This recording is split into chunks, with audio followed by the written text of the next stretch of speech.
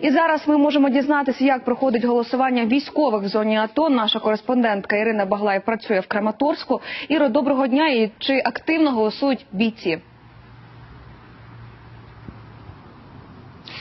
Так, добрий день. У зоні АТО перебуває 10 тисяч військових з різних регіонів України. Вони у день виборів голосують за місцями дислокації. У Краматорську це 27 ді- е, дільниця. За процедурою їм достатньо було подати заяву і мати на руках паспорт.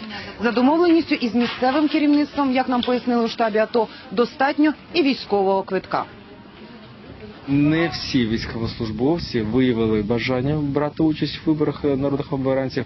А з тих, хто виявив бажання брати участь у виборах народних обранців, не всі на- руках при собі мають паспорта. Ніхто не залишить бойові позиції, а не немає такої норми, немає такої процедури, що представники виборчих дільниць е, приїжджали на виборчі е, на до виборців, які несуть службу на блокпостах, тим більше ті блокпости, які знаходяться на віддаленні. Ті військові, хто могли, не затягували із волевиявленням. Централізовано вони групами приїхали на виборчу дільницю. Написали заявление о том, что мы хотим здесь проголосовать, отдать свой голос, сделать свой правильный выбор. У нас проблем нету, чтобы проголосовать. Надо было только одно желание.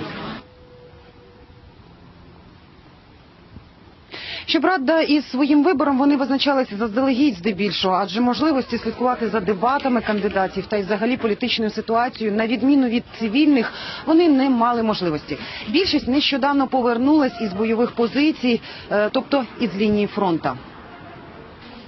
в наших как бы условиях не особо получается всегда, то есть, ну, следить там за новостями и всем остальным.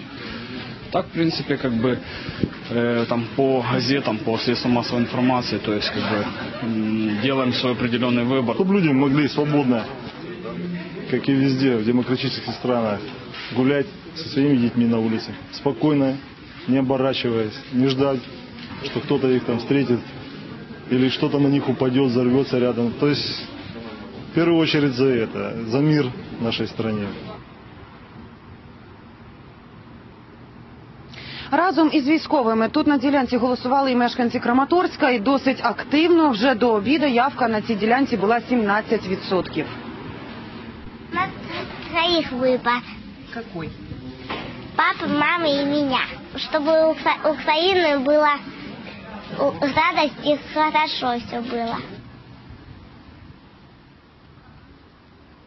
Вибори тривають. Дільниці тут у Краматорську працюватимуть до 20.00, А ось у так званій буферній зоні проголосувати можуть не всі. Зокрема, в Авдіївці виборці не можуть взяти участь у дострокових парламентських виборах. Усі дільниці закриті. В інших же містах так званої буферної зони явка низька. Як нам повідомили голови цих дільниць, вони закликають людей не залишатись байдужими і прийти на ділянки та зробити свій вибір. А ми зараз же вирушаємо по цих містах, що розташовані на лінії фронта. Новини звідти чекайте вже у наступному випуску. Дякую. Іро. І з нами на зв'язку була Ірина Баглай.